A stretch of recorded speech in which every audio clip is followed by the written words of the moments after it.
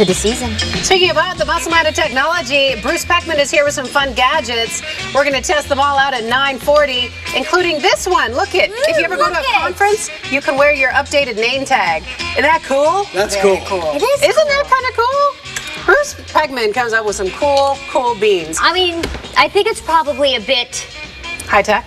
No, you'd spend all- if we were to wear this, you know, around town, and people would be like, "Wow, You should wear it here. Well, you know the, the, the popular phrase at any convention, "Eyes up, sailor," because everybody would be going like this. Yeah. So Just you know, right. Good morning, welcome to the 9 o'clock hour. Okay, we showed these earlier are in the awesome. show. These are great. Our Uh, hang tags Oh are- yeah.